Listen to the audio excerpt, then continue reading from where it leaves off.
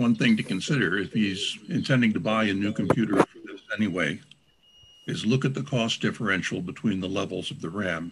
It may not be worth trying to stay too small because the price curve is pretty flat below some particular level of RAM. So don't push the RAM value down from what their standard is if it's not going to save you any money. He looked at, he was, he looked at eight, I believe, and then he looked at 16. And uh, 16 would double, virtually, apparently, double the price of the computer. So he, he was cool toward that.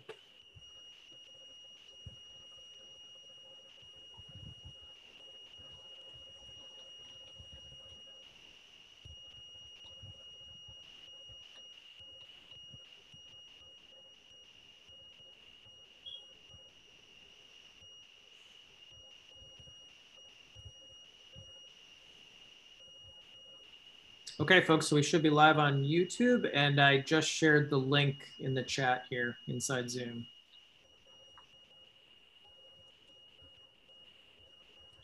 Give it a try. Let me know if it's working. Okay, let me check it out here.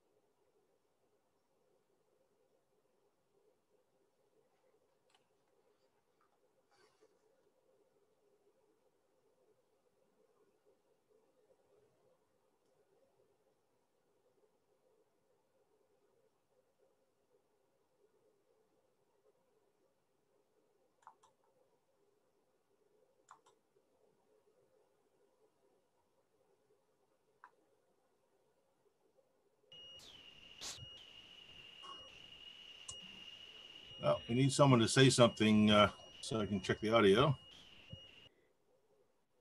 Well, I was going to ask Eliot if, if um, does that duplicate the chat on YouTube or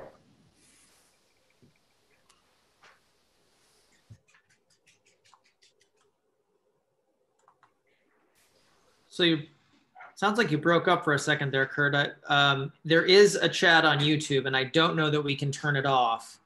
Um, we can we can choose one chat over the other and ask people to to use that. Um, Eliot, if, if um, does that duplicate the chat on YouTube or?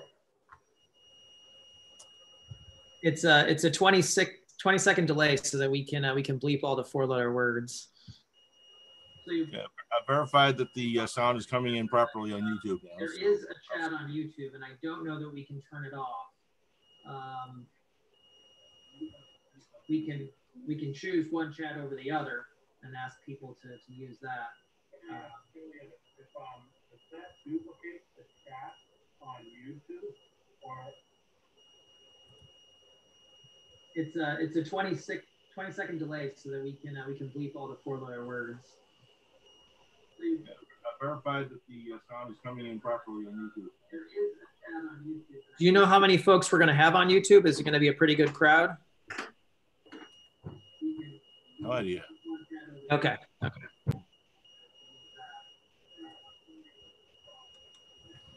You know, I looked at YouTube. I didn't see a chat there. I went searching for it on the YouTube.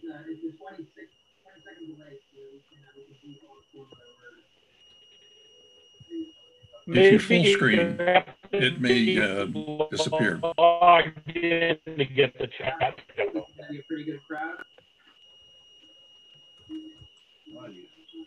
Okay.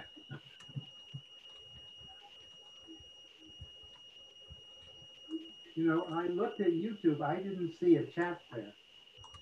I went searching for it on YouTube.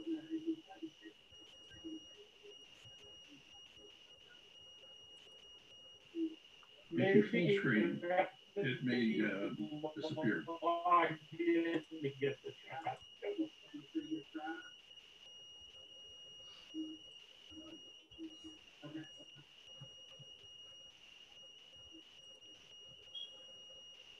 You know, I looked at YouTube, I didn't see a there. I went searching for it on YouTube.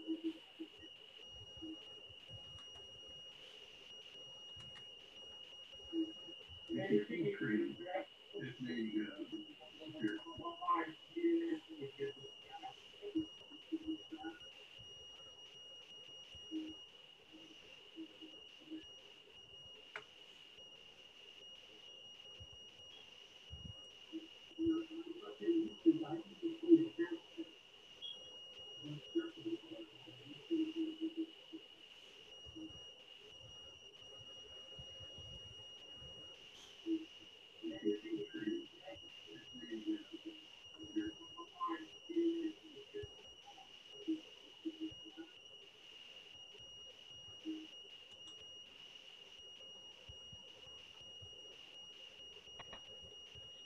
Eliot, if my audio starts to break up, I'll just um, they, my other laptop I don't have video working on it, but the audio seems to work okay on there. So I'll so we might have to make that decision Yeah, you just went quiet time. But sometimes my audio breaks up on this one. Yeah, I lost uh, maybe a 30 or sentence there. Okay, well let me log in from my other machine, and I'll just do audio. Okay, okay. I think you can assign a, a still photo of yourself in Zoom if you want to have a something that's not just a gray, a gray box. Okay.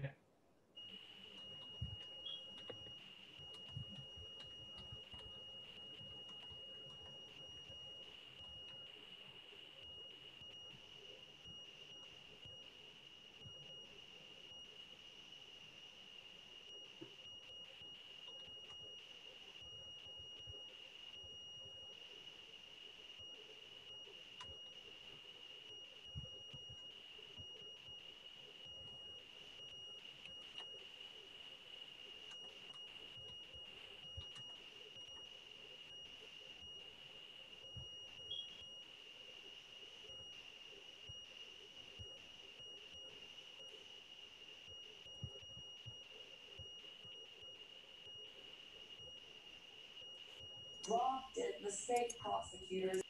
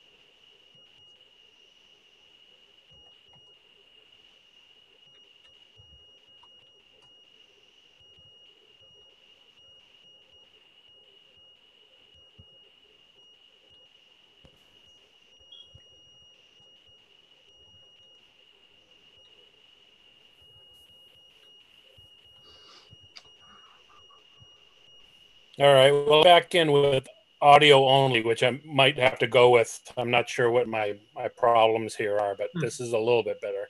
Yeah, no, it sounds better. Good.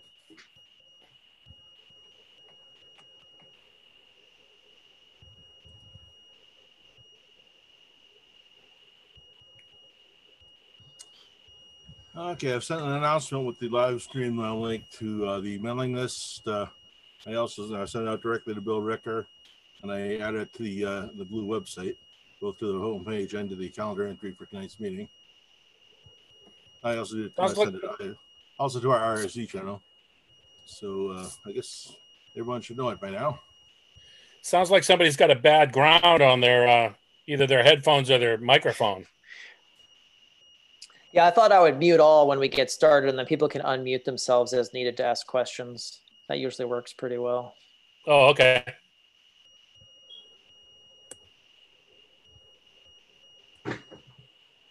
Are you referring to that uh, high pitched whining noise? Yeah. Actually, I have UPS in my server rack where the battery's uh, complaining that it wants to be changed. Oh. Let me mute myself and see if it goes away. I have a feeling it might be coming from my speakers. It'll go away as soon as I mute myself. See? Oh, yeah. Mm-hmm. So I'm innocent.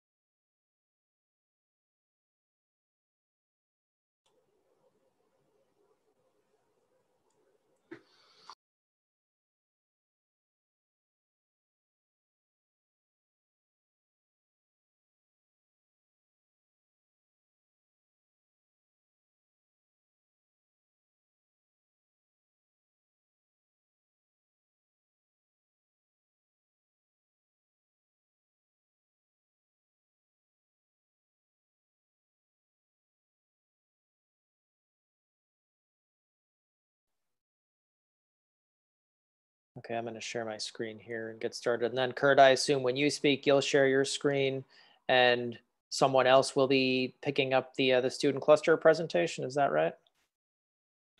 Uh, yeah. In fact, I, I just have URLs, so I'll just I'll just put the URL to my um to my presentation in the chat box, and then I'll talk over it.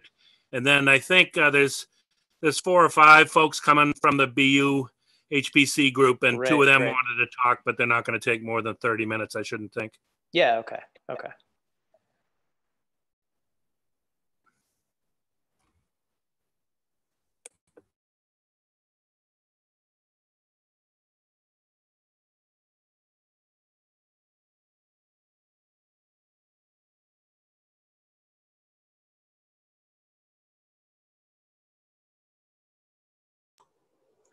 I'm going to have to leave after a little while. I have another meeting that will be starting.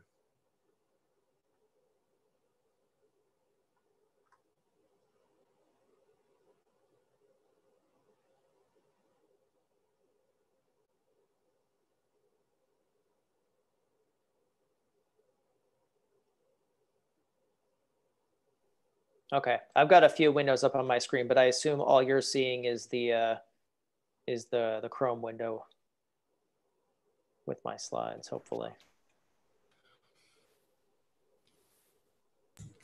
Yeah, just the slides, it says the agenda.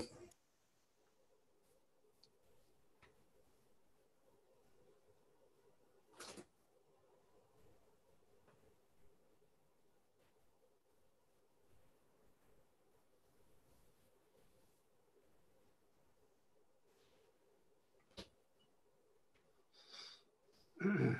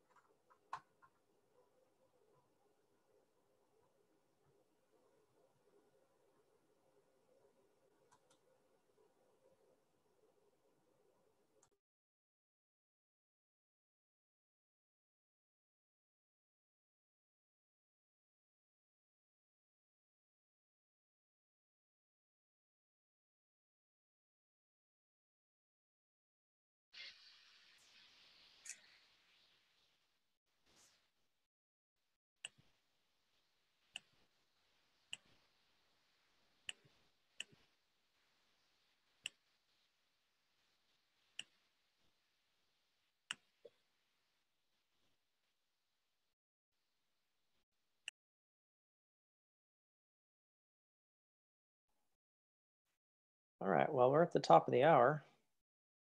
So we'll get started. I'll, uh, I'll mute everyone. And if you do have a question, feel free to unmute yourself and chime in. Uh, we don't have terribly too many people on the line here, so I think that'll, that'll work pretty nicely. Um, and I don't know if, if uh, one of you folks on the line has a, has a YouTube tab open, but if someone does indeed um, send some chat questions on YouTube, hopefully one of us will see it and, and can chime in and, and relay. I'll keep muting people as uh, as they join. okay. Um, so yeah, thanks again for for being with us this evening. This is kind of a, a group event. It's the uh, the Boston Linux and, and Unix users group, as well as the the Boston HPC and GPU meetup group. Uh, so hopefully we'll we'll have some interesting cross sections here to talk about. Um, I'm Eliot Eshelman. Uh, my day job is HPC at Microway, where we design and, and build uh, on-premise HPC systems. Um, I'm going to talk a little bit about some of the recent events now that everything has been virtual. And uh, then we'll have Kurt from MIT and uh, some of the students from BU presenting on the student cluster competitions, which, uh, which typically happen about now in, in uh, June usually, and then in November of each year. So it's certainly different for them this year. Uh, okay, so I'm going to talk a little bit about um, some of the HPC events that have been happening in these last couple months, all remote. You know, we were all thinking we were going to get to go travel a little bit this year, and it's not looking that way. Um, but um, some interesting benefits to this remote is that uh, I think some of us are getting to attend events that we don't usually get to. I don't usually get to attend ISC, uh, which is held in uh, in Europe. Um, so, you know, some pros and, and some cons, certainly. Um, okay, start. Well, I guess we'll start with the with the obvious. Um, uh, COVID, COVID, COVID. It's uh, it's yeah, um, maybe an, an unprecedented challenge for for some of us. Um, and you know, computers can't can't solve this problem but uh, it's been interesting to see just how much the, the HPC community has come together uh, to, to try and tackle some pieces of this problem, what, what can be solved just um, you know, through computers and through research.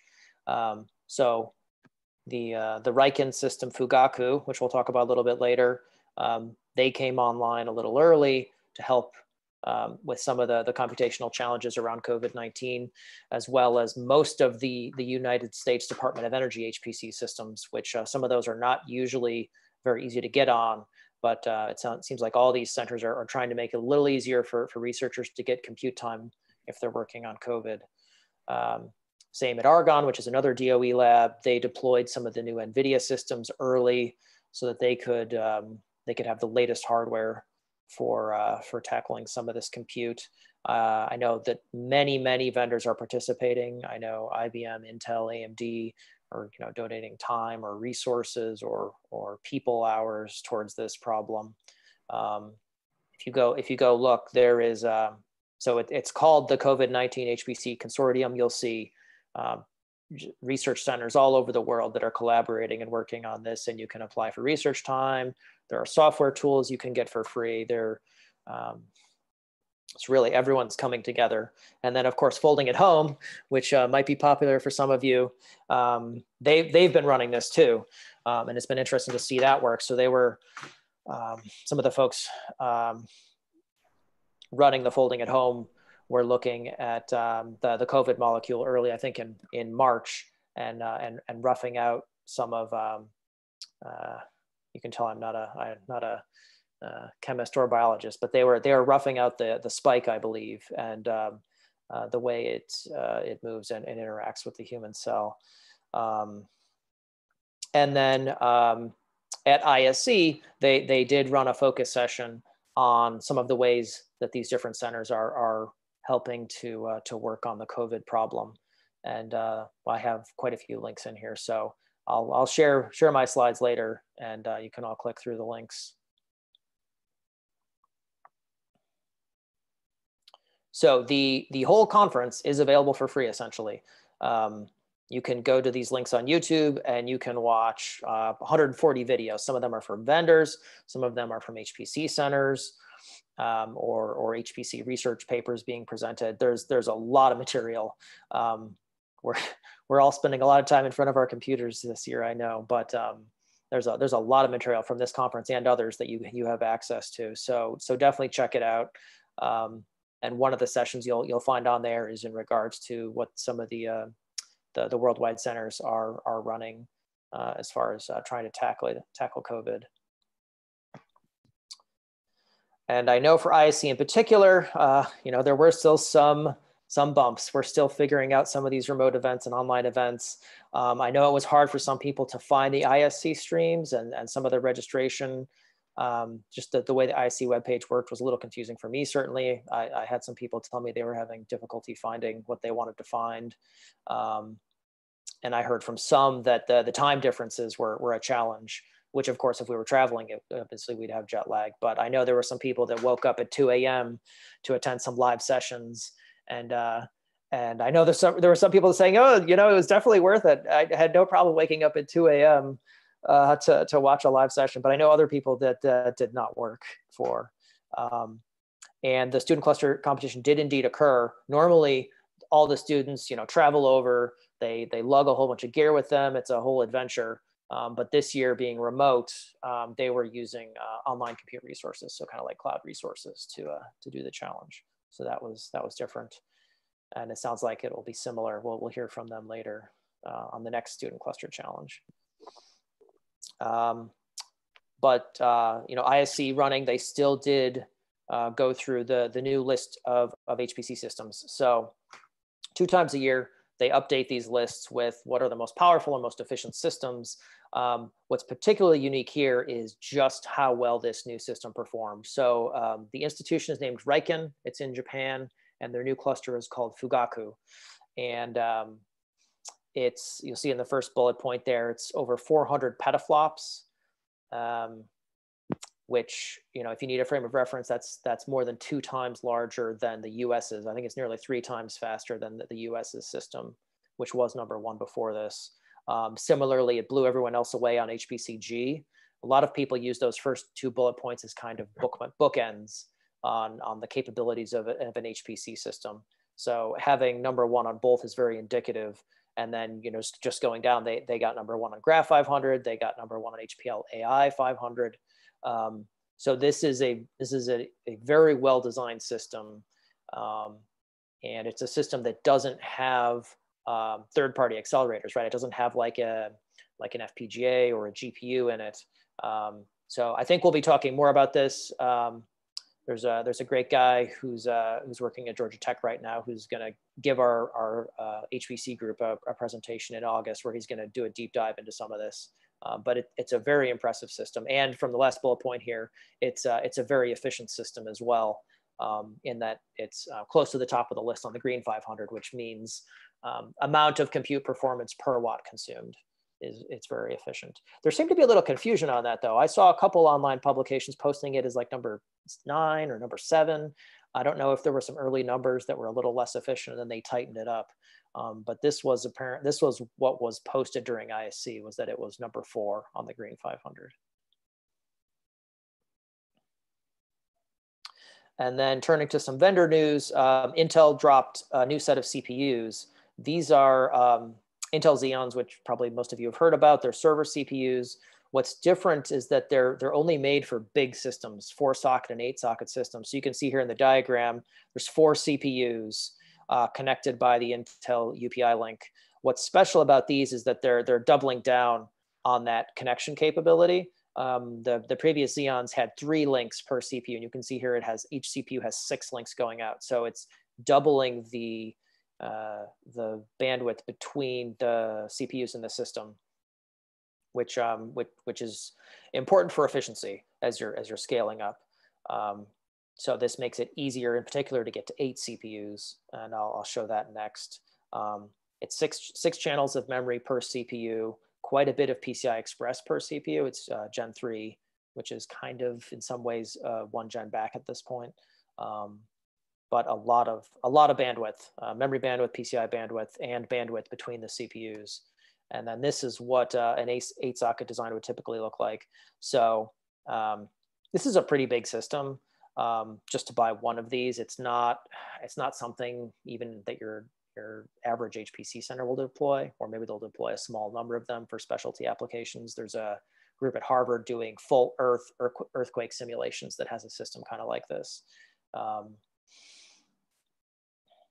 but it, it's a little bit specialty. Um, another interesting bit about this CPU is that it uh, provides bfloat 16 instruction support, which is a bit eso esoteric, um, but is used for deep learning. So like apparently Facebook is gonna deploy crazy numbers of this thing for, for deep learning.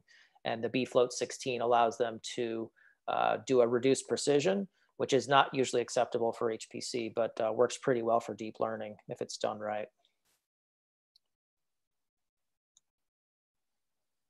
And uh, on the software side, Intel is continuing with their, their heterogeneous software. So you'll probably hear quite a bit of talk about oneAPI. Um, we had a, a, presentation from Intel on it in our group uh, a couple months back. Um, the idea is all these different architectures you see at the bottom of the slide, whether it's a Xeon CPU or an Xe GPU, which has been talked about, but you can't buy one yet, and then FPGAs, and some of the embedded devices and the, the very uh, specifically designed accelerators for deep learning from Habana. Um, those can all be, you know, they, they all traditionally have had their own programming methods and APIs, and you have to do a lot of custom tuning. And the hope here is that, um, oh, and uh, Sujata shared the link in the chat if you want to have a look at it. Um, the idea is you can you can write to oneAPI and then you'll be able to execute on whichever hardware you, you happen to be running on. Um, and Intel also has something called, called DevCloud. If you want to, um, to try it right now, you can get access in the cloud to some of the, uh, the current generation hardware and try out your code, see how it works, and, and kind of start getting ready for when the, when the big hardware arrives that has Intel CPUs, GPUs, and, and more. Yeah, and another thing I can add over there is um, since our GPUs are not available and uh, since like, you know, cross-platform is one of the things that is like, you know, the main uh, goal of oneAPI, uh, you can run oneAPI in DPC++ code on NVIDIA hardware today. And uh, there is a workshop happening on that I can post a link to that. And I don't know, Eliot, if you have announced it to this group as well. Yeah, please do. So there is a link on the front page of our of our meetup page right now. There's a there's a link to that Intel event um, later this month. And yeah, if you want to post it in chat as well, Sujata, that'd be great. Um, so yeah, interesting uh, interesting days. Um, we may have some some time for discussion later. I'd like to hear what what people think. Um, and uh, I have AMD here. They didn't seem to have a lot of news during ISC actually, um, but I thought it was relevant to, to mention just some, some rough speeds and feeds since they've still been, been very active. There's been a lot of interest from the HPC community in their CPUs. Um, they've had a, a, couple of big wins on, on some of the really huge uh, HPC systems in the US. Um, so up to 64 cores per CPU, which is up to 120 thread, 128 threads per CPU. The clock speeds go up to 3.7 gigahertz, though um, you have to accept a lower core count to hit a clock speed like that. Uh, the, the big 64 core CPUs are usually more like uh, two, two and a half gigahertz. And then um, all CPUs these days will boost to higher speeds if they can. So they'll boost up to 3.9 gigahertz if they can. Um, and those CPUs have good memory bandwidth as well. Um, and they support PCI Express Generation 4, which is, uh, is needed for some people. Uh, and I'll, I'll, I'll, assign homework, homework as we go. Again, I'll, I'll post these slides with the links, um, but there's so many videos you can go watch, hundreds of videos. There's 140 for ISC, and then there's a container workshop. Um, there's, there's a lot of cool stuff going on with containers for those that are interested in that. Um, and if, if you don't know if you're interested, definitely check out containers like Google Docker or Google uh, Singularity. Um, they offer some really interesting capabilities. Um, you don't have to manually install software a lot of times. For most common software, you can find a container that's already got an optimized build of the software that you want and you don't have to mess with it anymore. It, it can really make your life easier.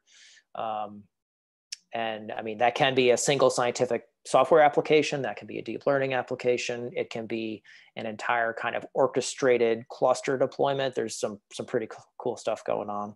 Um, if you're doing more traditional HPC uh, software builds, to have a look at the Spack tutorial that's coming up this later this month. Um, Spack is a tool for automated cluster, sorry, automated software compilation. Um, so if you're if you're an HPC user and you're manually compiling code still, um, you, you, might be kind of kind of wasting your own time. um, it, it's really cool to use some of these new tools that will do automated builds, and they're built by uh, really smart people. So you can have confidence in the builds they're doing. Uh, architecture specific builds. So, you know, if you run it on a on an Intel Skylake CPU, it will optimize to that CPU and it knows how to build the underlying libraries, OpenBLAS or whatever it is against the, the architecture that you're running in that system. Um, so it's, it's easy and it works well and it runs well. So it's pretty cool.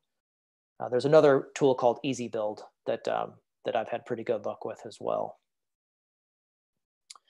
And then uh, jumping over to NVIDIA GTC.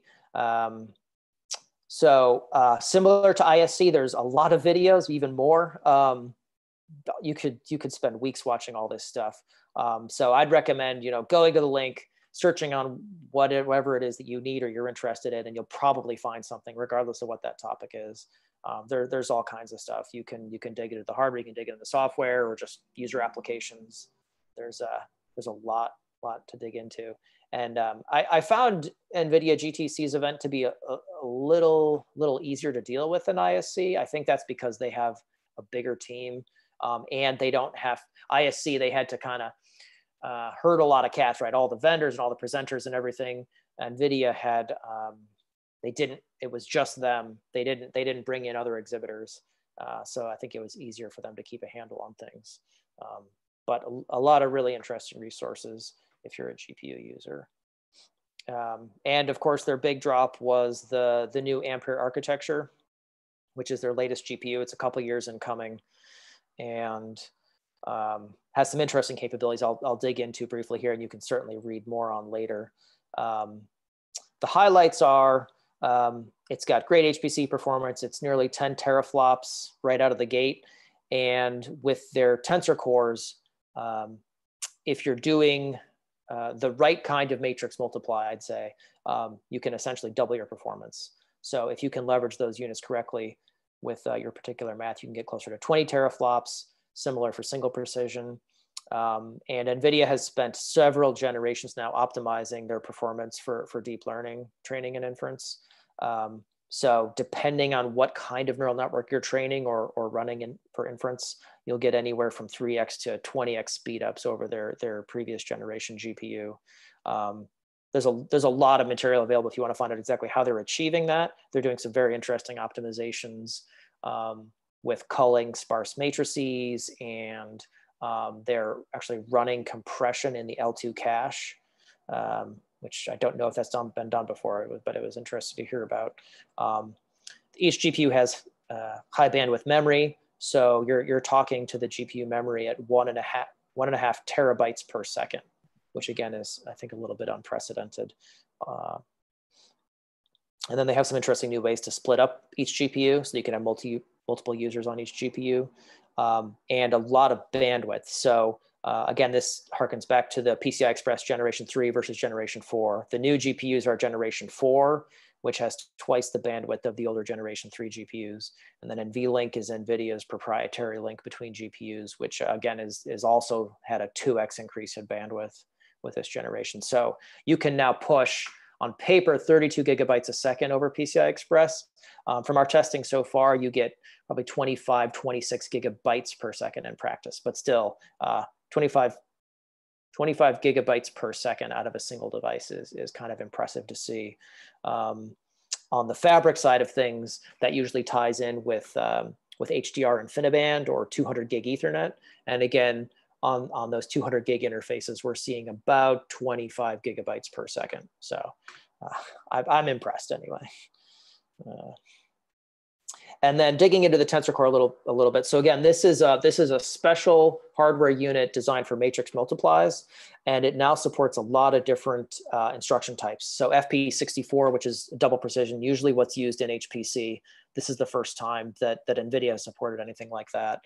And then they have uh, tf32 which i'll, I'll describe uh, bf16 which is the b float. So so that's uh, I guess an instruction that was first desired by Google for their deep learning. Um, Intel has some support for it. Now NVIDIA has some support for it. Um, I'll, I'll show you exactly what that looks like. And then um, you can also do these matrix multiplies on even, uh, like on integers, eight, eight bit integers, four bit integers, and even binary units, which um, I haven't seen, I haven't seen how that's being used, but um, there might be some interesting applications of that. One important thing to note if, if you're um, an NVIDIA user is that on this new architecture, they're defaulting to this new TF32 instruction. Uh, NVIDIA says that they ran all the models they could on it in their internal systems and uh, they weren't seeing any uh, accuracy losses. And so they, they went ahead and made it the default. So that is a change um, that, that may be important for some people to be aware of. Um, and uh, the sparse matrices support, which I mentioned before, allows them to get some interesting performance improvements. Um, so this is how the tensor core operates.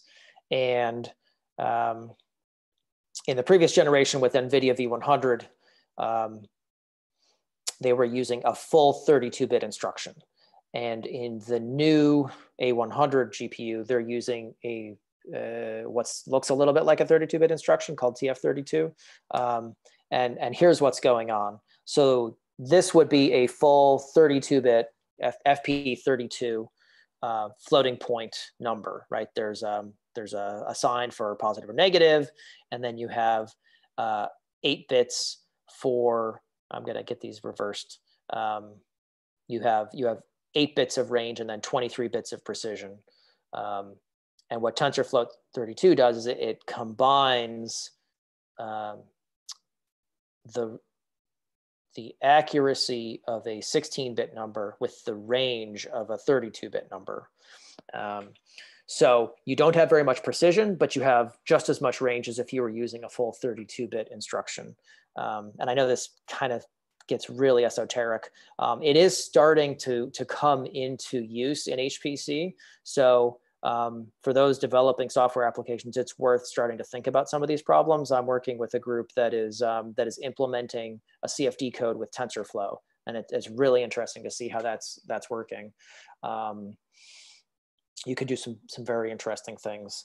Um, and down at the bottom, you'll see bfloat 16, which again I think Google was the was the main driver of that originally. Um, so bfloat 16 had the same range as a 32-bit number, but considerably less precision. And NVIDIA's kind of mixed, they're kind of in the middle now with, um, with better precision than a B float, uh, but um, sorry, better, better precision than a B float, uh, but a lot fewer bits than a 32-bit. Uh, thanks, John, for, for correcting me. It's the, the sign, the uh, mantissa, and the exponent.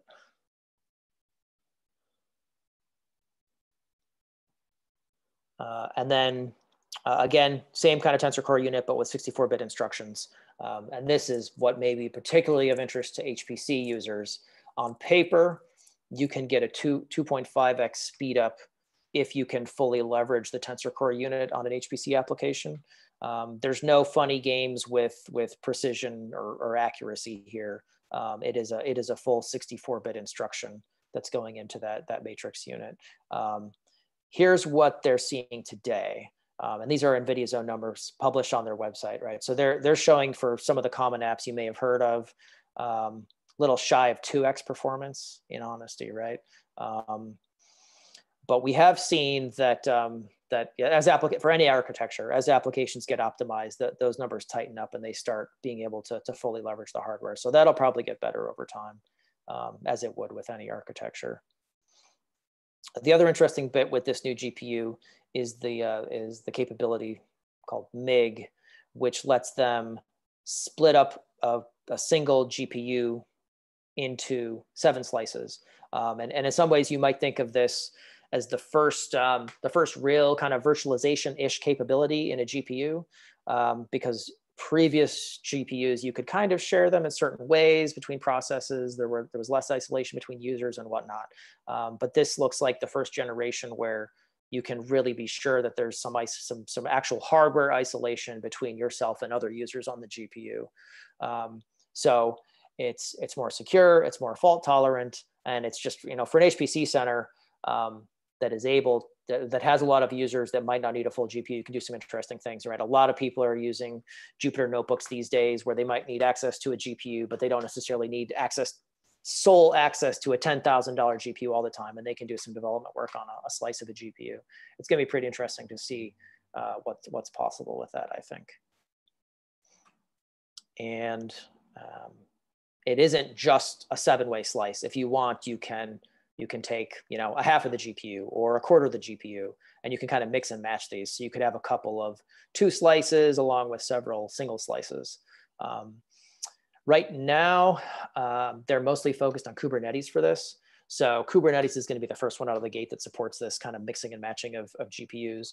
Um, but Slurm isn't too far behind. So later this year, you'll be able to, you know, to log into a Slurm GPU cluster and say, I want one seventh of a GPU or two sevenths of a GPU or whatever, and it'll it'll schedule your job and you'll be good to go. So that'll that'll be interesting, I think. Um, I've seen it in use in EDU where they'll be running a lab and uh, you know every student needs access to a GPU in the lab. They start up a Jupyter Net, uh, Jupyter Notebook, and each student can kind of do development work on a, a slice of a GPU. And then uh, another bit of news that dropped was NVIDIA's HPC SDK, which in some ways is a, is a renaming of previous tools. So if you know the name PGI, Portland Group Compilers, those have been kind of fully and officially folded into NVIDIA now. NVIDIA acquired them a, a few years ago. Um, so the old, uh, what was it, PG, C++, and all those, um, all those compiler tools uh, are now folded into NVIDIA's tools. And you can see here the various libraries they have. They have, they have quite a few um, pr pretty capable math libraries. And then they've got uh, debuggers and profilers, and um, they've got a new roofline analysis tool. Um, so if you're using a GPU, you owe it to yourself to look at this if you're developing for NVIDIA GPUs, because there's a lot of tools. And I think some people um, probably don't avail themselves of the tools as much as they could. There, these tools are uh, free as in beer, so to speak. Um, so you can download them for free, but they're not open source. And then if you're actually looking at, at what hardware is available, um, there are single GPU cards, there are uh, four-way linked GPUs and eight-way linked GPUs.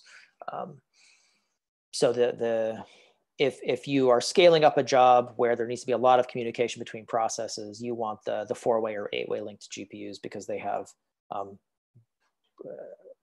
bandwidth between all of the various GPUs. If you go with the card style GPUs, you can only have them in pairs, which means you can't get your uh, can't get full communication between all four or all eight GPUs. And that NVLink speed, again, was doubled in this generation. So you're now talking about 300 gigabytes per second um, coming out of, out of each GPU. So it's, it's uh, ex extraordinarily impressive bandwidths that are, that are going between those GPUs. Um, and NVIDIA then has their own server platform, which is kind of an all-in-one appliance system. And uh, this is an eight GPU system so it's got the, the 300 gigabytes per second between each, each GPU, each of the eight GPUs. And then it's got, as you'll kind of see in the back, there's, uh, there's 10 network adapters. Each network adapter is uh, 200 gig network adapter. So there's a crazy amount of bandwidth coming out of these things. And, um, and NVIDIA built themselves uh, a large size cluster. And uh, currently that cluster is number seven on the top 500 and number two on the green 500. So it's very power efficient um, and, and very capable overall. So they, they took 140 of their, their eight GPU systems and, and built them together into this cluster, as well as some uh, uh, 200 gig InfiniBand and uh, DDN storage. Um, DDN has been partnering with NVIDIA on some uh, RDMA storage capabilities. So you can, you can feed data straight from a storage device into a GPU without touching the CPU, which is uh, again up and coming and, and, kind of interesting. And uh, breakdown for those of you who are interested in the comparisons. Uh, the last time I showed this, Radeon fared a bit better, and I'm sure AMD will be showing something new in the not too distant future, and that'll that'll be interesting to see that comparison. But right now, NVIDIA's A100 is looking pretty solid, uh, winning kind of a, across the board, so to speak. And again, I'll, uh, I'll, I'll share this presentation so you don't have to, to dig through everything here. Um, there's a lot of squiggly lines in this because all of these capabilities re really depend, depend on your application. Well, sorry about that. So depending on your application, you're getting anywhere from 10 teraflops to 20 teraflops. And uh, it's we're gonna have to see how these things nail down over time. Um,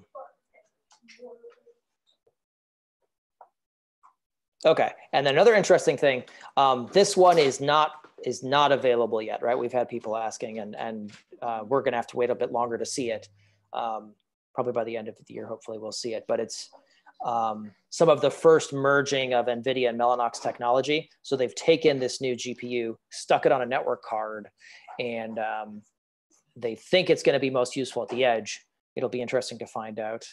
Uh, I, I, think people are going to probably do some interesting things with it. Um, so the the exact GPU compute capability isn't uh, isn't quite clear yet. Um, it's a but uh, dual 100 gig E or dual 100 gig InfiniBand links on this card with a GPU, with um, with uh, secure en enclave and uh, encryption. And the, and the idea with that is you can you can deploy your application somewhere on the edge. Um, and if someone you know steals it and runs away with the box, um, your your software is encrypted, and uh, you know as soon as the box loses power, those keys are lost, and um, you know they've got your hardware, but they don't have your software or whatever data was on the box. So could could be interesting. Um, and there are developer kits. So I know I know we have some some fans of the Jetson in previous generations. There's a new one. Uh, I think it just launched last month, uh, 400 bucks. So it's you know pricey as far as the developer kit goes, but but capable. Um, so it's got uh, a Volta generation GPU on it, an ARM, six core ARM, eight gigs of memory. You know, it's got wired Ethernet capability, Wi-Fi, Bluetooth. Um, and you can configure it for different power consumption. So it goes as low as 10 watts. um, and there are other form factors of this available. Um, a lot of times people will build on this box and then um, go to an even more embedded version as, as they're you know, scaling up, so to speak. Uh, and I've got homework here too, and I'll, so I'll share these slides. Um, there's there's a lot a lot you can dig from.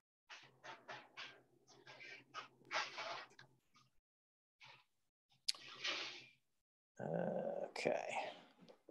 So uh, we've got a few minutes left, I think. Um, I'm curious if anyone wants to bring anything up. I've, I've got a few a few HPC uh, discussion topics if uh, no one has anything specific that they want to bring up themselves. So the floor is open.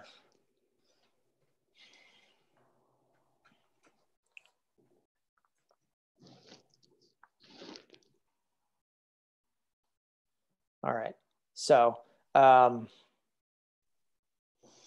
this is a question a lot of people have been asking themselves. I'm, I'm curious if anyone has strong, strong opinions.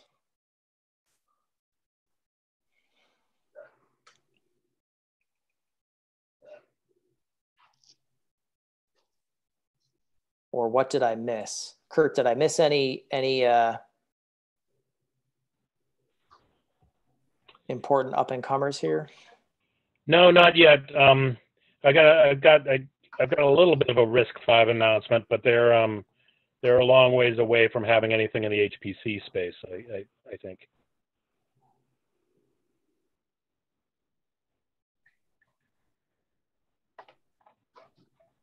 Yeah, it's interesting. Um, I guess there's just, just just a lot of momentum behind the uh, the traditional options. I mean, I, I see quite a bit in my small my small sliver of the world that um, people just kind of go with what works and don't always. Well, I mean, it's it's it can be extra work to to go outside of the the norm too far. So I, I guess I understand that. Um, so we're that seeing- in the NeoCortex uh, presentation today? So I- I've got a little Yeah. bit of a breakdown of the of what NeoCortex is doing. Uh, so I'll give that at the at the end. Mhm. Okay, great. Um, yeah, what I see um, is is pretty much x86, right? We we see a little bit of uh, power uh, and a request every once in a while for a couple of ARM boxes. Um, but but you know it's been Xeon mostly for the last couple of years. Oops, and um, and EPYC is now is now starting to uh, to be of interest to some. Um, although maybe maybe not as many as you would think.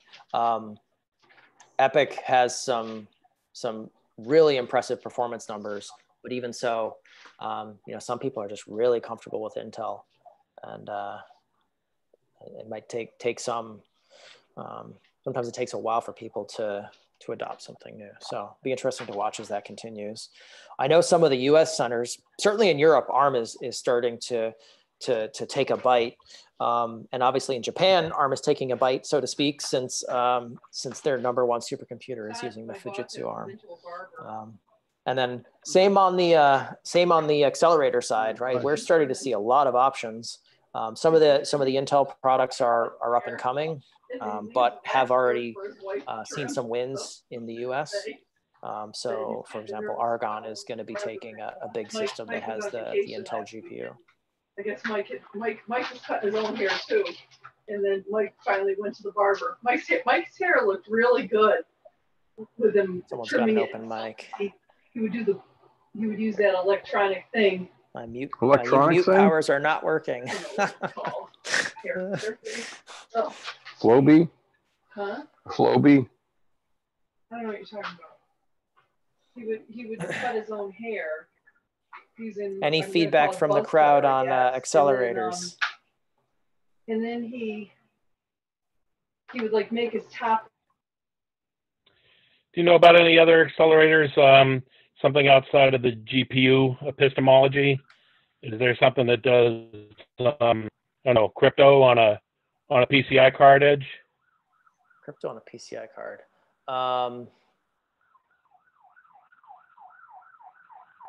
Yeah, you would think there would be something. I, I, I don't know. Um, I am sometimes a bit of a distance away from some of the, the non-traditional HPC.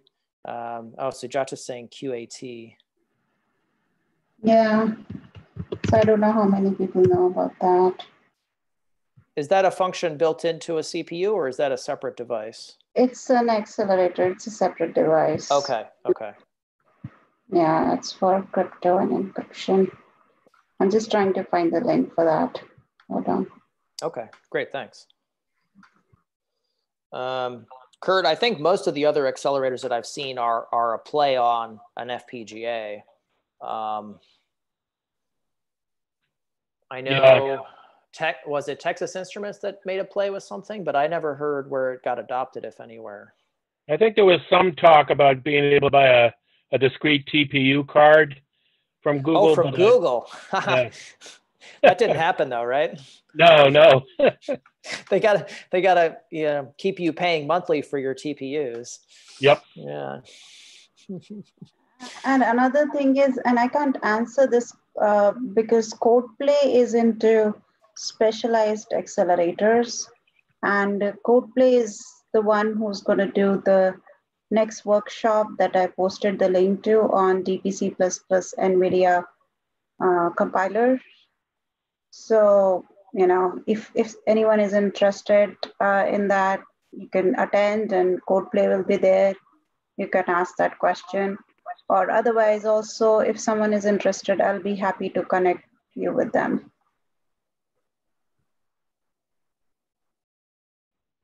Thank you.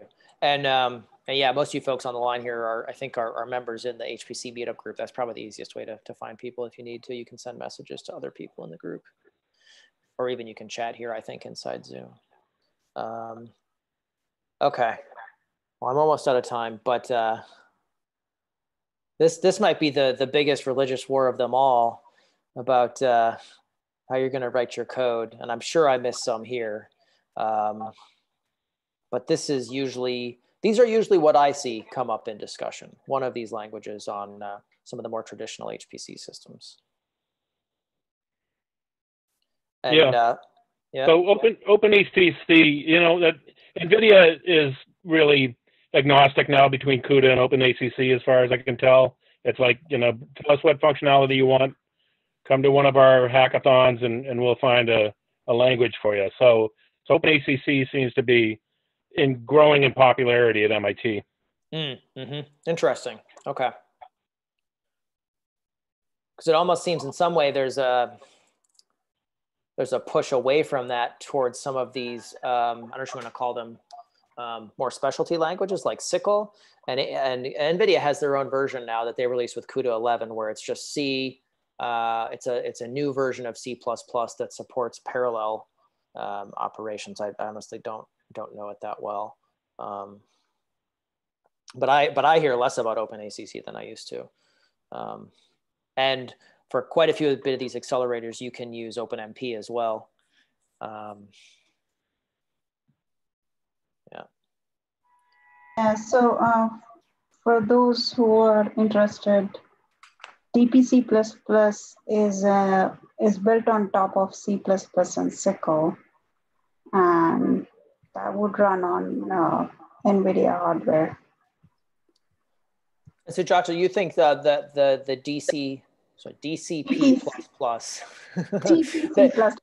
that- It's is that going to be the most common language used for for uh, oneAPI?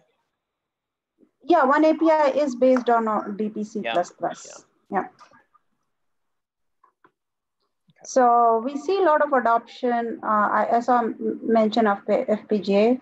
A lot of people are converting OpenCL code to SYCL and DPC++ uh, right now. And there are developers who are uh, also porting CUDA code to DPC++ because they want to become vendor neutral. hmm And so when you do that, you should be able to target an Intel CPU or Uh-huh. an NVIDIA GPU or an FPGA or Yeah. And or, you Intel know, GPUs when they come. Yep, yep. Okay. Yep. But in the meantime, NVIDIA GPU. And since SYCL works on AMD, so it will work on AMD as well. Cool. Uh, well, I used up all my time, I think. And that's all I had to share. So I'll, I'll post my slides. I know I had a lot of links. Definitely go watch, like almost all those YouTube, those videos are on YouTube um, for, for ISC. So they're pretty easy to find, but there's, there's a lot of cool stuff you can, uh, you can dig into. Yeah, this was great, Eliot. It, it was a great summary of the event for those of us who did not go there. Good, thanks. Well, yeah, I mean, and you didn't miss it because it's all on YouTube. So just, you know, this weekend, just hang out on the couch and watch 140 videos. Oh, yeah. Um, okay, so I'm going to turn it over to Kurt. I think you're going to send me a link, Kurt. Is that what you want to do? Yes. Um, I just Oh, put it in the chat window. Um, the reason I'm doing this is I have, for some reason, ungodly bandwidth problems right now, and and indeed, Eliot, if I do if I do fall off the air here, just carry on. Alrighty. I'll be with you in, in spirit, if not in voice. Yeah. Um, okay. um, the good thing about all those links is um, the the first chunk of the link I'm talking about is autonomous vehicles, and that's kind of what me and the undergraduates have been doing for a little while um, in the absence of of, uh, of other things. Um, uh, there's a, an increasingly tight association between autonomous vehicles, Linux, uh, NVIDIA Jetson, and I'm I'll, I'll walk through some of the things we've been doing lately to uh, to try to show you what we're doing and what at least um, by my count two dozen other universities across the U.S. are doing. Uh, my first link there is the is the uh, Indianapolis Autonomous Challenge. Now, now we've been involved. The BU students, uh, a couple of MIT students, myself, have been involved with um, uh, autonomous vehicle competitions of some variety over the course of the years. Um, the IGVC jumps to mind, the International Ground Vehicle, Vehicle Contest. Those aren't really there's a couple classes there that only recently opened up one called the self-drive division. Now those are vehicles that you might recognize. Uh, for a while there, there were they were these Polaris Gem golf cart style things. So so certainly certainly battery powered, like EVs, um, and then progressively more and more with some Linux box on there retrofitted in to uh, to bypass all the all the electronics and and go straight to the automotives. Um, so that got canceled this year. I uh, don't think they plan on bringing back the 2020 competition. I think they'll just wait till 2021. A lot of those competitions have fallen by the wayside.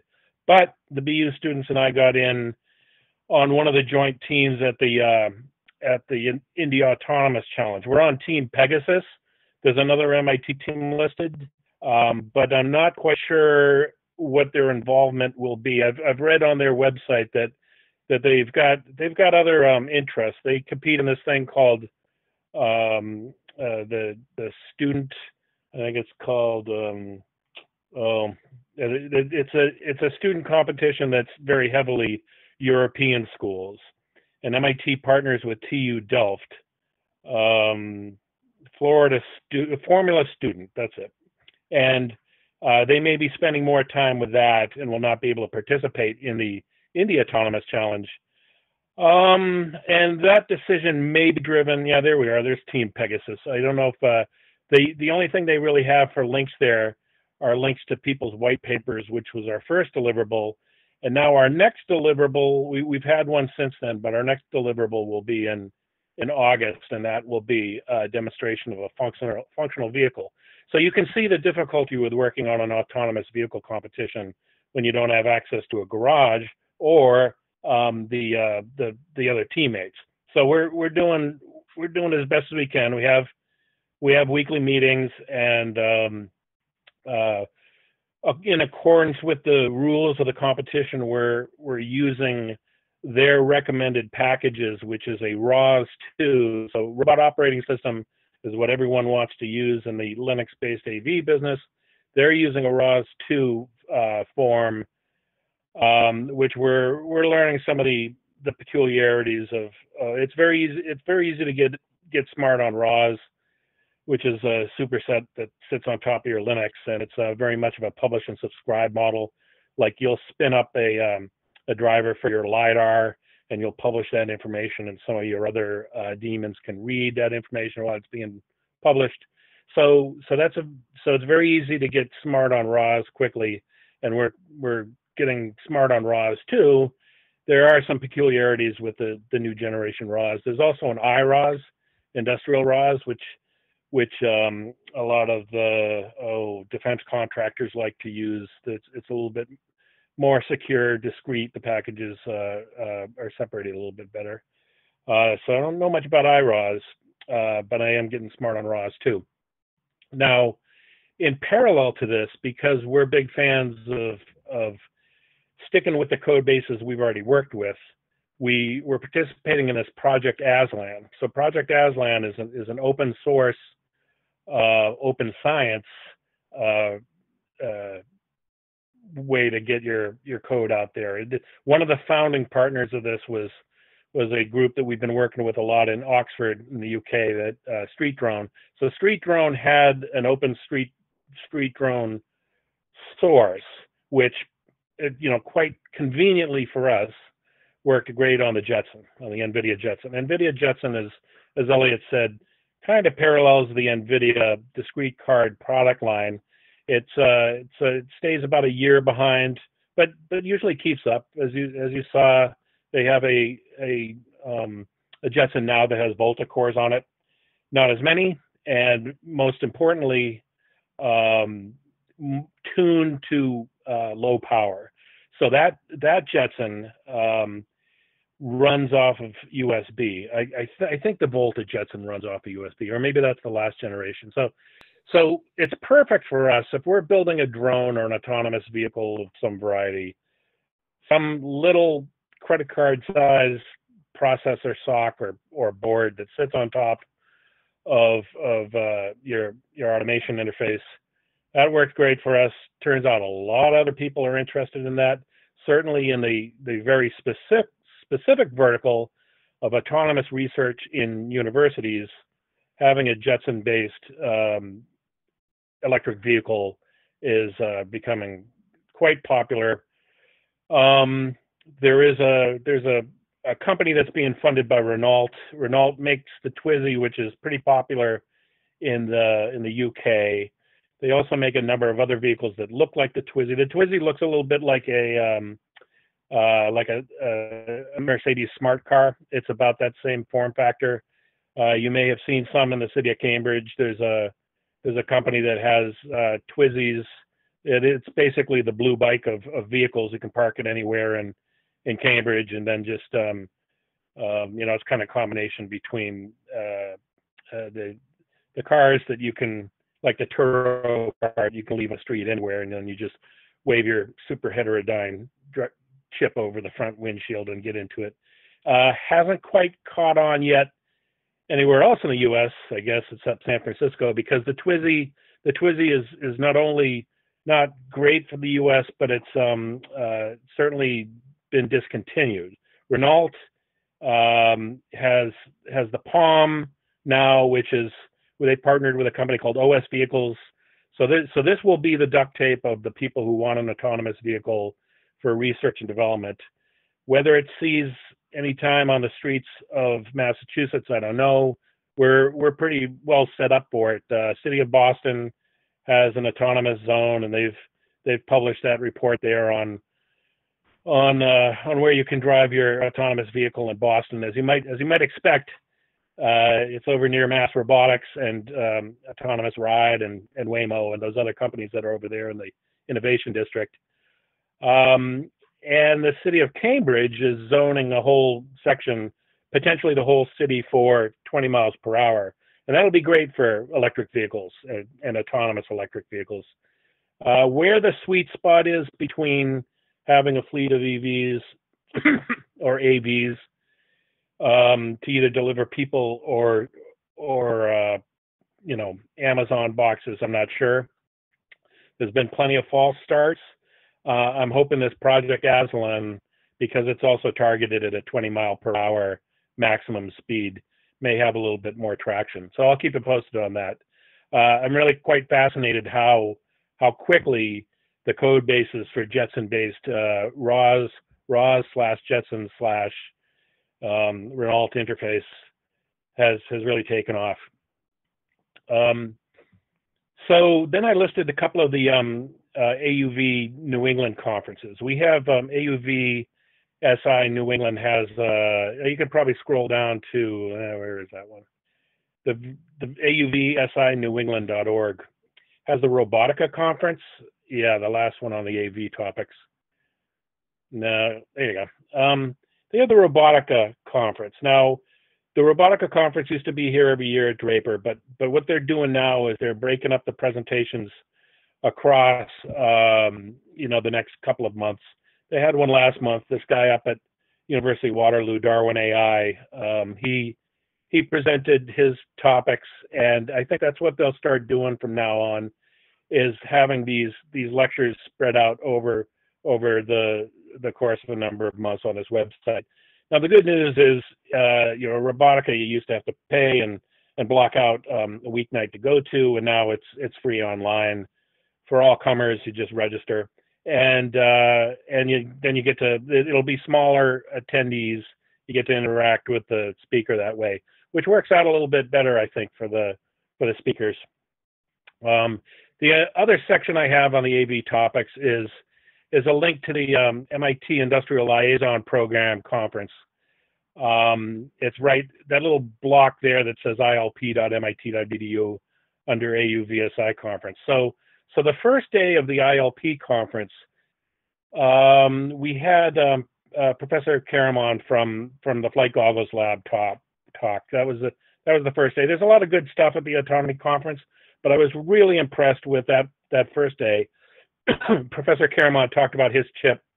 So he has a chip that he puts onto his drone boards, and his drone board can also fit as a daughter board on top of a uh, Jetson, and he talked a little bit about how they're using his flight goggle software to compete in the in the Lockheed Alpha Pilot competition. Now, uh, it was supposed to they were going to do a semis and a finals, and that was supposed to sum up here um, this month or maybe next, but they've postponed it. Uh, so, so they'll probably have the Alpha Pilot competition 2021, and maybe they'll be back on the same schedule that they were on for 2020, not just not just delaying 2020 for six months, but being back on a 2021 schedule. So, so I'll keep you posted on that. Last time I went to the Alpha Pilot site, it said it had been postponed, but now it's now it's definitely canceled for 2020. And uh, but you can meanwhile I can go to the flightgoggles.mit site and download the SDK and and work on uh, the navigation tools. So so he's hoping that that the virtual navigation and the remote vehicle will work in lockstep so that the the delay will not significantly change um, the uh, the performance. Uh, I, I think what that means is if you've got a course and you're going to need no less than five second um, uh, timing between your joystick and what the remote vehicle does at that course, then they'll design the course so that you can pivot um, in five seconds and, and then uh, at least not get into an accident. There'll be uh, it's it's not clear to me how they'll they'll stagger that off, but but I'll um but I'll certainly know more on Alpha Pilot before they open that back up in 2021. Um, and then I just wanted to talk about some of the other upcoming conferences that uh, that Eliot didn't hit. Uh, the the big flagship IEEE conference at MIT is High Performance Embedded Computing. It's now actually High Performance Extreme Computing because of the overlap now on the various topics that that are um, that are hitting us.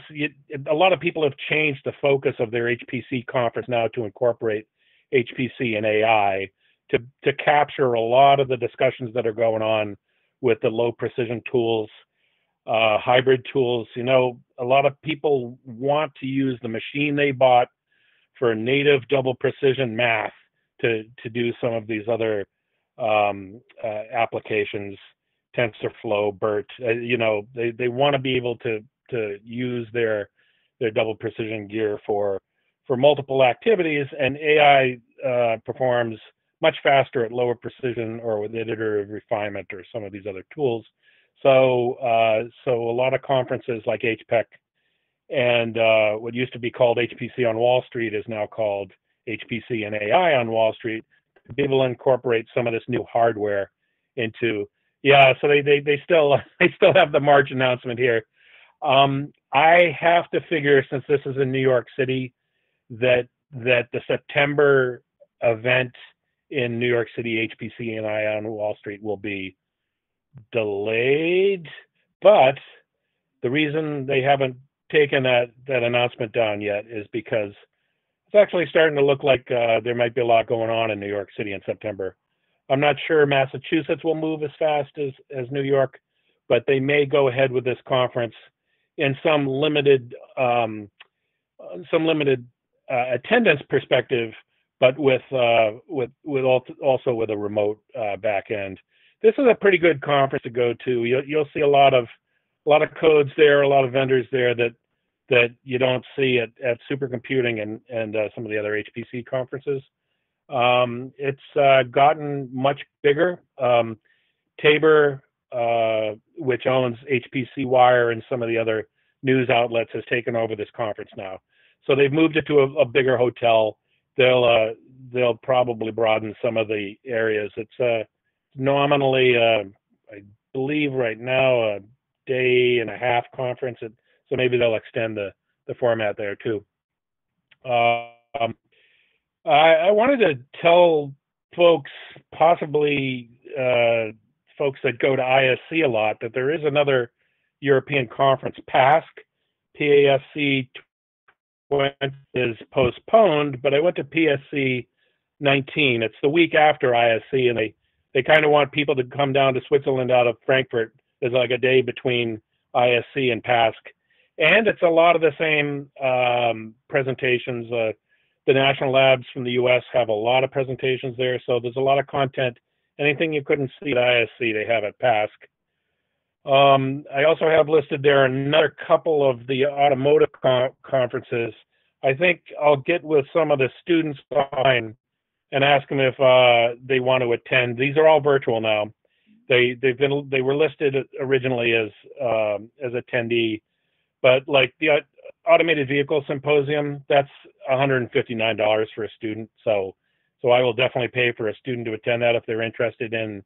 It's about a two day. it's a two day um, remote conference, mostly topics. There seems to be a lot of overlap on on certain subject areas. Like you'll get you'll get five lectures on on what level of automation we should allow on the streets of uh, the United States. Should we actually allow a human to jump in at level four and, and take over the automation in a stressful situation? That's a that's a big topic right now. If your if your automation starts choking on you, is it really a good thing for the for the guy in the in the back seats that's been reading the New York Times to jump in and take over driving at that point? Um, and then down there at the bottom, I, I do have a couple of uh, miscellaneous links.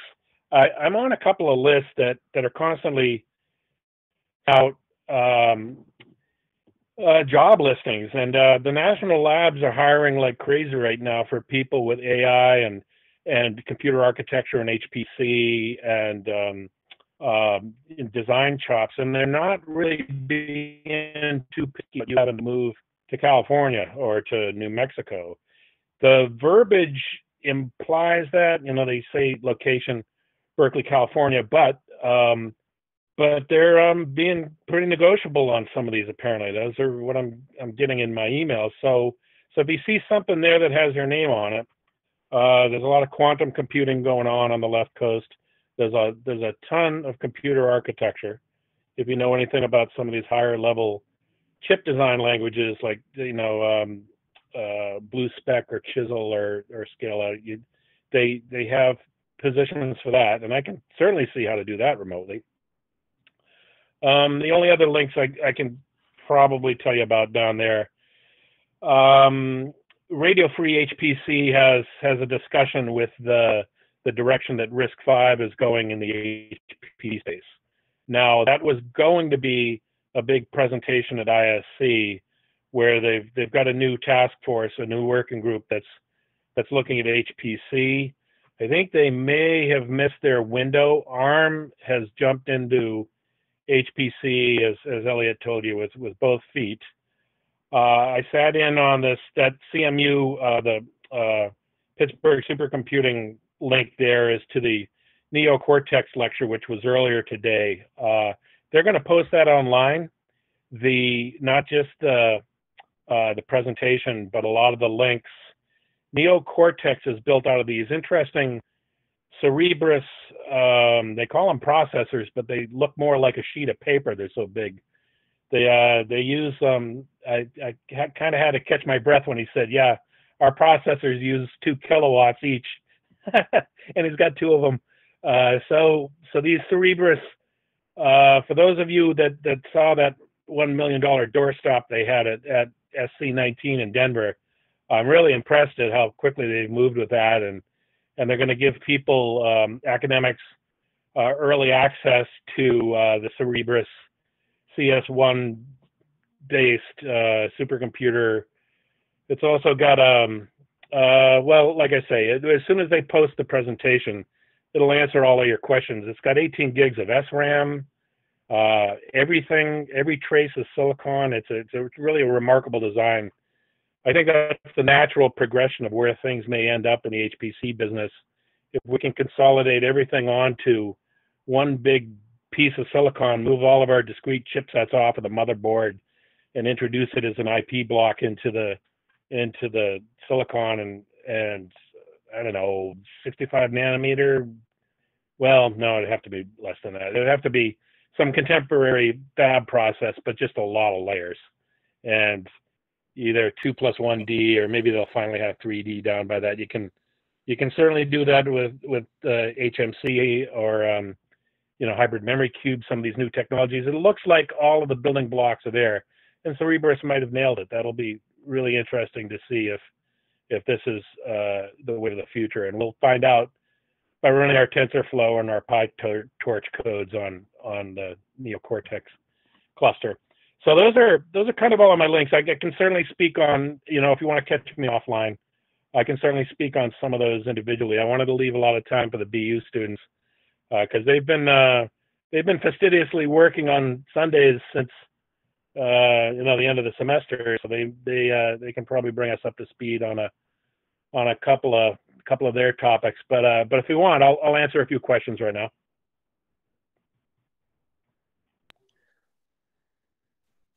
Well, if no one else speaks, Kurt, um, I'm curious um, for the Cerebras systems. Um, I mean, they're they're big HPC, right? That's like you gotta you gotta drop a million dollars or more to get one, right? It's not for the masses yet, but you think maybe it will be for the masses at some point. Yeah, and it, I, I wasn't quite sure on the architecture. I, I maybe I missed that slide. They were very, very chatty about certain aspects of it, and they certainly didn't imply that there was any NDAs. But I, but I think they're using uh,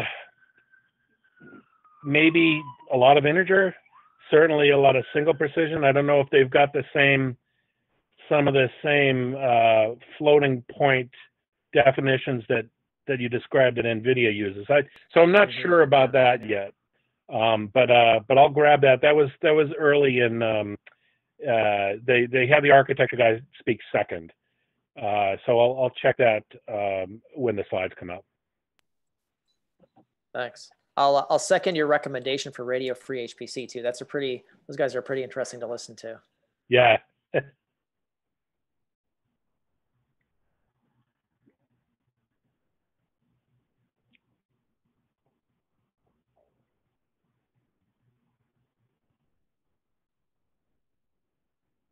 Anyone else have questions for Kurt? Comments? Turn it over to the students. Thanks.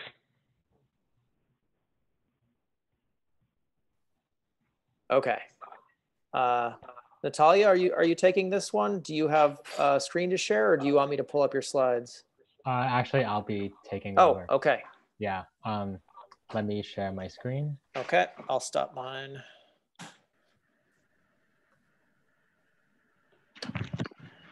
Uh, all right. So, hey, everyone. Um,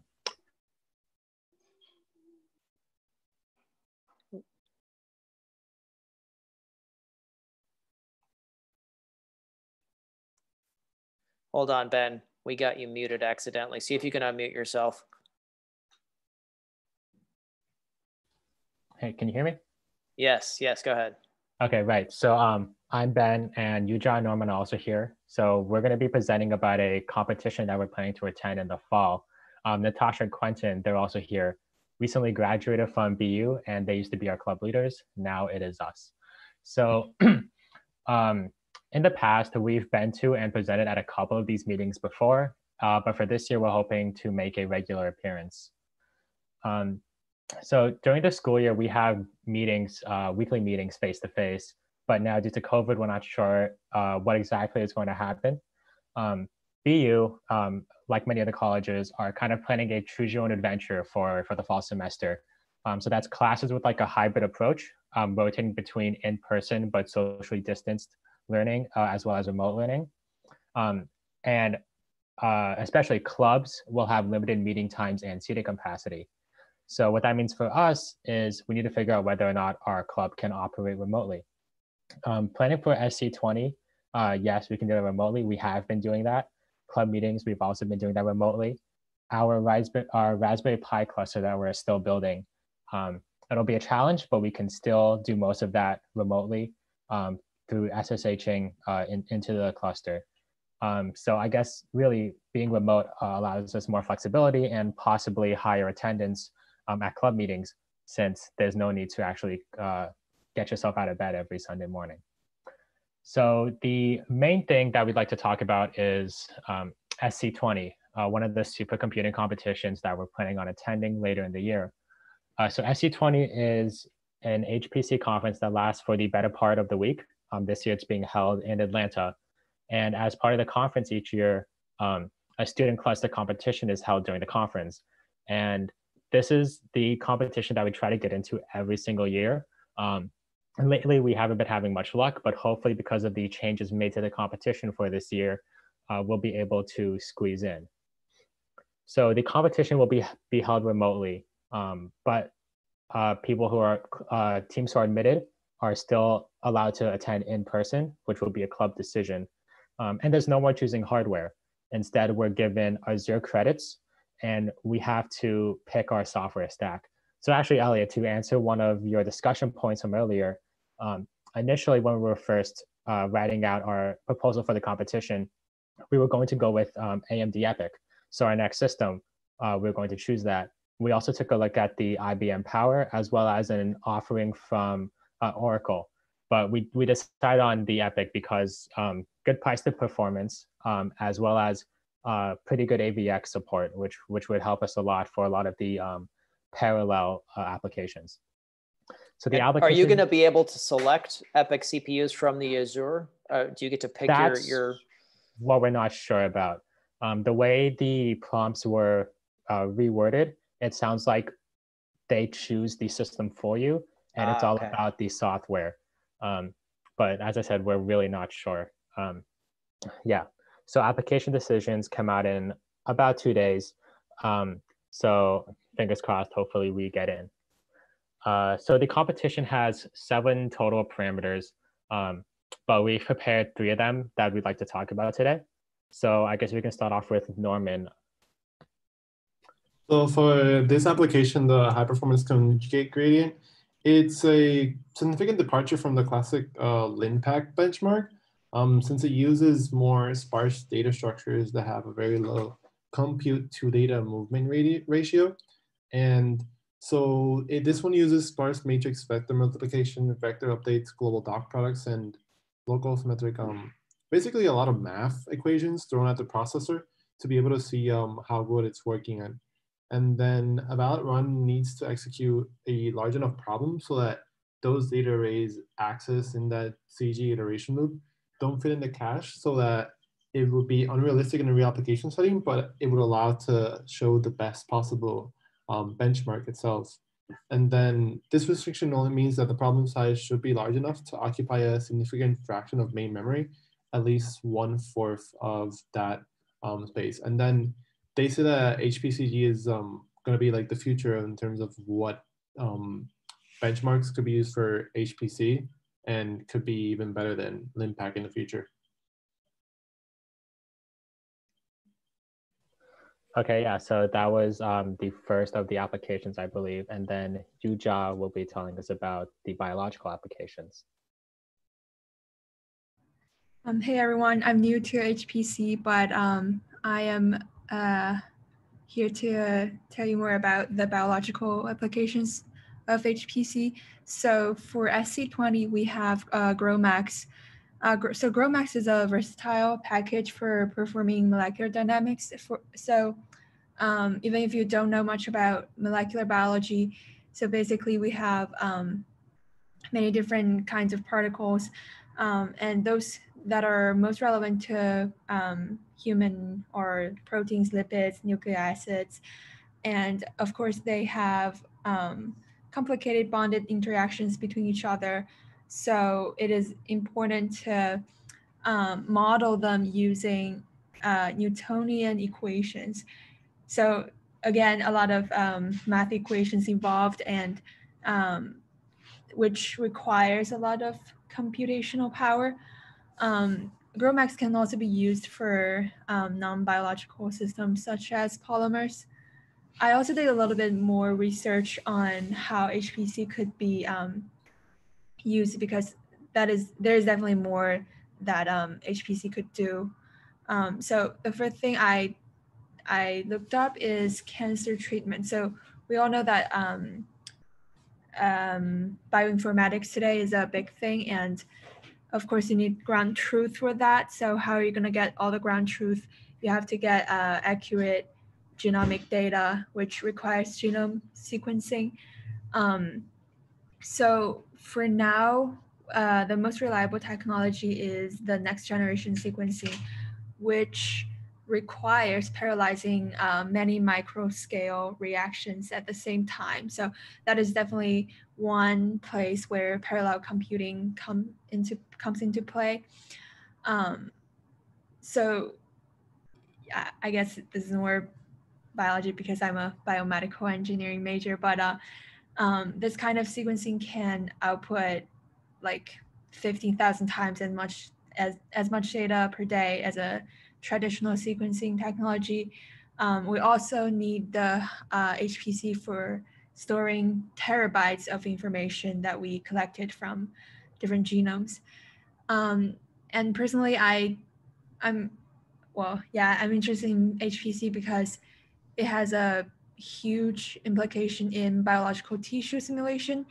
Um, just imagine you want to study uh, a piece of biological tissue and the only thing you can model on the computer is to um, develop either a center-based model or a lattice model. So let's take a lattice model as an example. Um, so imagine a 3D space which is divided into different grids.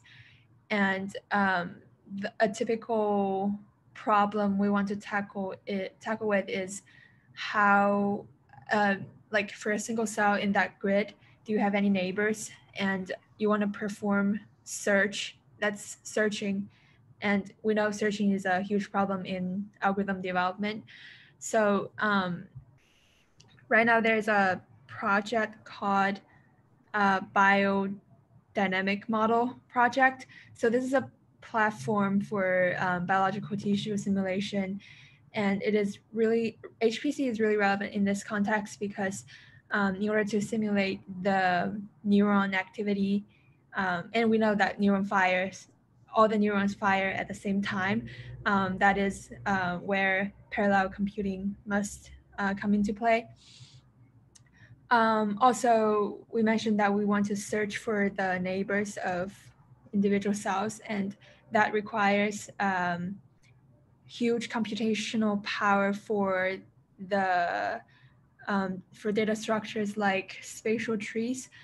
Um, because when you want to detect your neighbor and uh, even insert a new cell into your system, um, searching and insertion, uh, at most we can uh, uh maximize or I mean like um, at most the best computational complexity is n squared or even n log n, but um, because you have so many uh, cells in a grid and also um, if you want to use uh, more complex data structure like octree, oct trees or R tree, um, which is not just binary tree, um, you would definitely need um, HPC to uh, speed up the uh, searching and insertion process yeah, and that's all about um, what I have for the biological applications.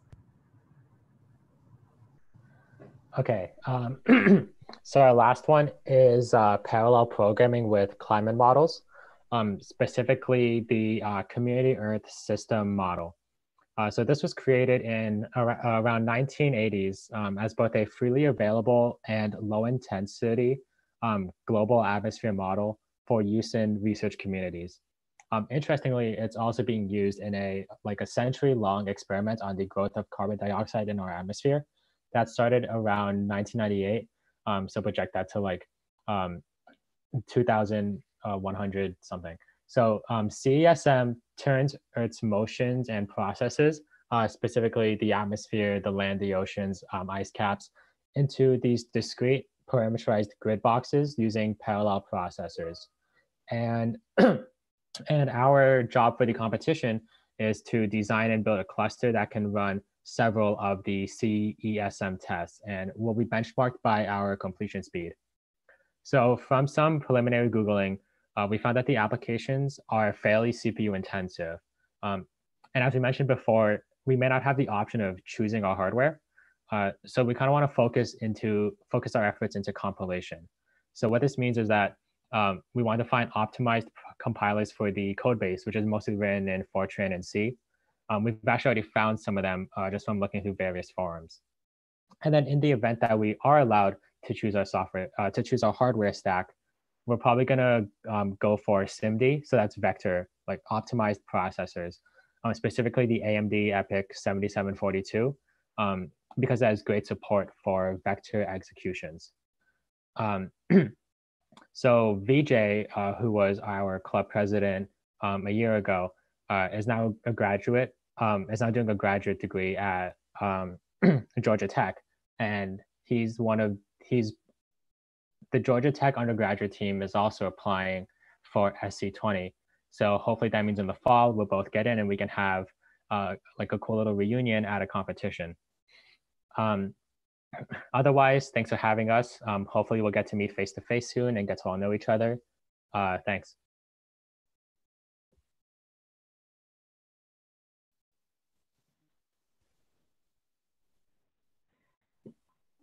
Awesome, thanks. Do we have any questions for the uh, for the student team? So Benjamin, it, uh, not that we're going to do this, but do you know if they're going to let us bring our own Azure credits with us and just just like completely snow the other teams with tons of Azure credits or something? Uh, I don't think so. Um, they'll probably be providing a specific amount. Yeah. Yeah, but for at least for preparing for the competition, if we do get in, um, I know BU already offers some free Azure credits, and just by having a, a college email, we can get 100 free ones. Um, so hopefully that means we'll have enough to like set up our own test system and go through all the applications, uh, see what we can do with them before the competition starts.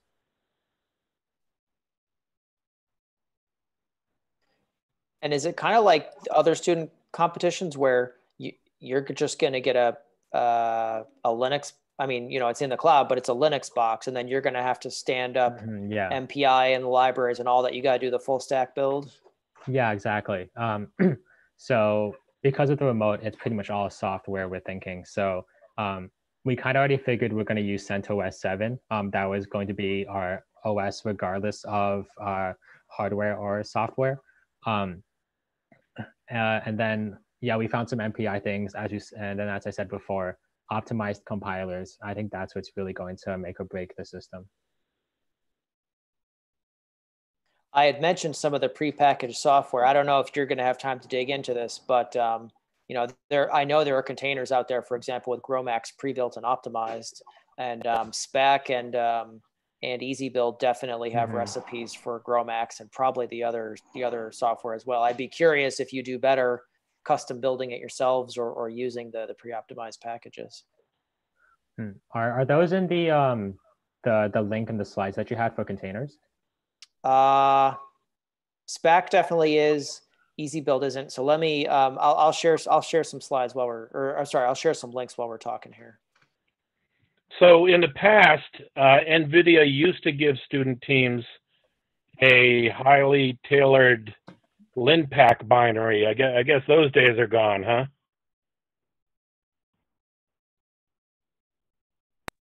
Yeah, I don't know. I don't know if anyone ha- maybe does Microsoft have uh, the optimized Linpack for Azure? I, I don't know.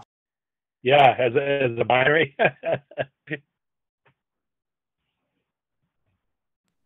It's a good question. And and are you going to have access to GPU accelerated nodes, or you you don't even know? No clue. Um, oh, yeah, every, everything's completely new. So it's just it's almost like we're walking in blind.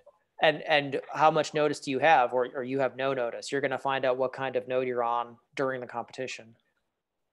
I feel like that that's probably what's yeah. going to happen. Wow. Okay. I, they're they're probably scrambling to even get it all set up. You, know? so, you can't ask for too much. Yeah.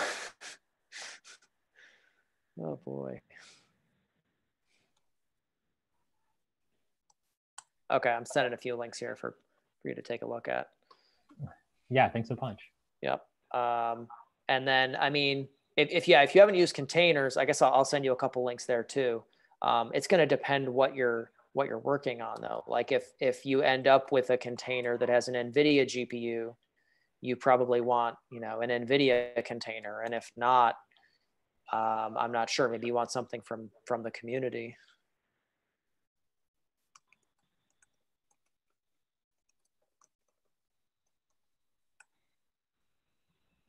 Uh, so there's something called Docker Hub where it's, it's like GitHub, right? Except it's for full software containers and anyone can post something to Docker Hub. So you don't necessarily know what, what the provenance is, whether it's been built by someone who doesn't know what they're doing. But um, you know, you start searching GROMACS on Docker Hub, you might you might find some stuff. Mm-hmm. What uh, what makes Spack different from the usual package managers? Is it really just the um, HPC optimized? Uh... Yeah, so Spack Spack and EasyBuild are, um, I, I, guess you could call them package managers, but they're source. so both of them take source packages and build them. Uh, and that and that could be you know from just a bare Linux box. It installs you know the Intel compilers and tools. It installs GNU compilers, whatever it happens to be, mm-hmm. and then it'll build um, your MPI on top of that and all the libraries. You know, um, you know, uh, OpenBLAS, LAPACK, um, kind of everything you would need. Um, so so both of the tools will do that, and then they'll build the, your actual user application, be it GROMACS or or whatever the application has to be. Um, so, so they are compiling on this, that whatever you're running it on. So if you run it on Azure with a, with a Cascade Lake processor, it's gonna tune the binary for that Cascade Lake processor mm-hmm. um, versus a package manager where, you know, Red Hat built it on some random Xeon box and it's, it has not been tuned with flags for the particular CPU architecture that you're running on. I see. Okay. Thanks, Eliot. Yeah, yeah. So it'll be interesting to see what the trade space is this year. I mean, when when you've got a, a dozen schools showing up with their own hardware, it's it's a hardware competition. But when but when you've got a lot of people accessing the same uh, cloud, it's going to be much more of a software engineering competition. So so I wouldn't be surprised if some school figures out some way to to build a monolithic um, stack that somehow optimizes the non-embarrassingly parallel parts of the code. I don't know. It's a it'll be interesting to see what directions this goes. I know I know the ASC student cluster competition that everybody has to use the same hardware over there, but you can go down to bare metal if you want. I mean, if you wanted to run um, you know, if you wanted to run Windows on on their gear over there, they'd, they'd They'd let you run native Windows if you wanted to run some other operating system beside Linux. They'd let you do that. And I don't know if you'll have, you know, I don't know if you'll be able to go down to metal on an Azure cluster, but but it'll be interesting to see what people dream up for a for a differentiator.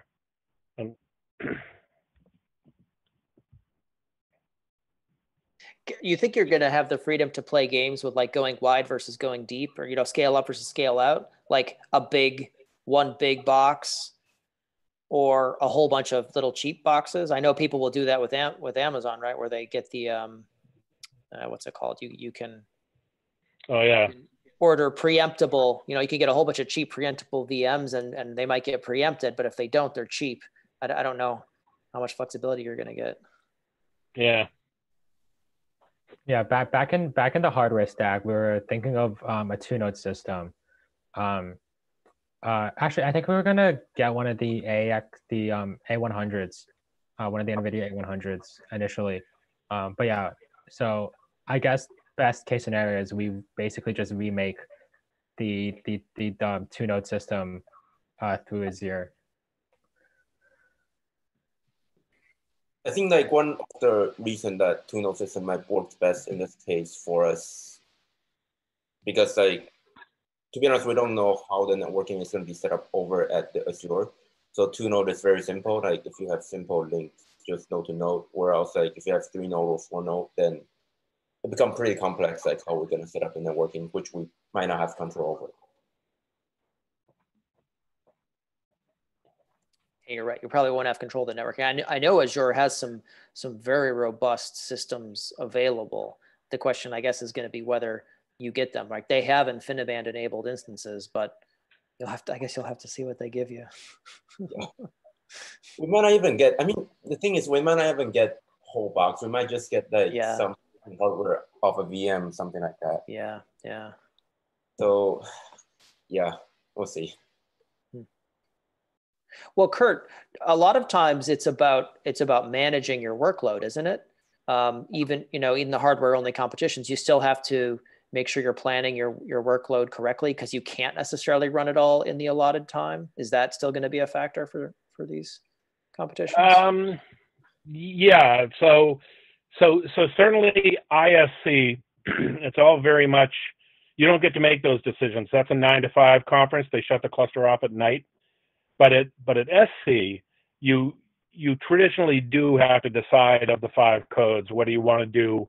You do some team strategy to decide whether you want to hit it out of the park on LINPACK and do terrible on everything else because you've built around LINPACK. Now a lot of schools did that, and uh, and um, and they really do terrible on everything that isn't embarrassingly parallel. So so as you can see, they they kind of pick codes that stress five different layers of the of the seven layer OSI stack or or or you know the uh, the Kiviat diagram for HPC. You've got an embarrassingly parallel code. You've got something that does streams. You've got something that that kind of stresses uh, matrix. Um, we did that for a little while at HPEC. Uh, do you remember the um, basically the uh, uh, the em, uh, embedded seven code? I'll see if I can dig that up. The the link. Um, uh, I don't think the link is still there, but the codes are still there on on OMG Wiki, so I, I can dig that up. In fact, I'll probably do it before we log off. Um, but they they went out of their way to to give you five codes that weren't all one type of acceleration, so that people couldn't show up with a dedicated cluster of um, DEC alphas and and be able to to just uh, follow that path to victory on on five codes.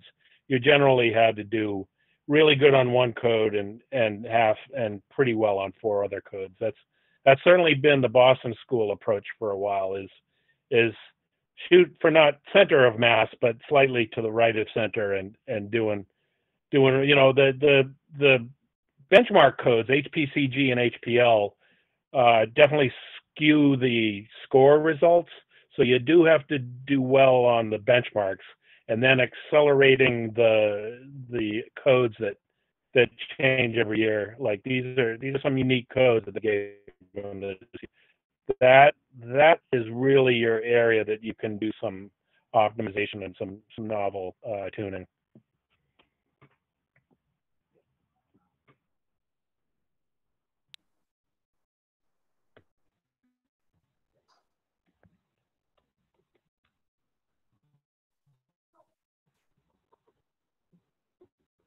Okay. Um, anything else that people want to plug? I know we have a couple of events that are coming up for the the Boston Meetup group, and we'll be posting links to that. So so take a look. Um, any other events to plug? I know Kurt, you had links to a couple of events that are virtual events that are coming up.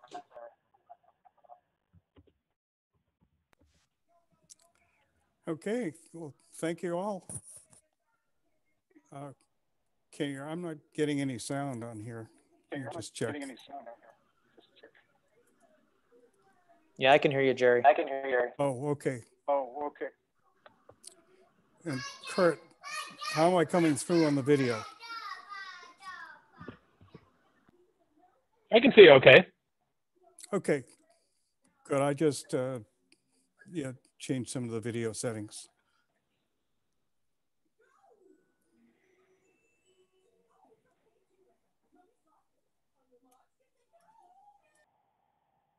All right. Well, thanks, Eliot. I thought we were going to have one of the other, um, you know, the last team that went to a student cluster contest was UMass. They went to ISC last year. Yeah. Um, and uh, a lot of them have graduated. So I'm, I, I don't know if we can, can collect up on those. I, I don't know if you have any updates from them, but but it, you know maybe I can get an email from them and find out how that went a year ago. Yeah, no, I haven't. I, I don't. I don't have that.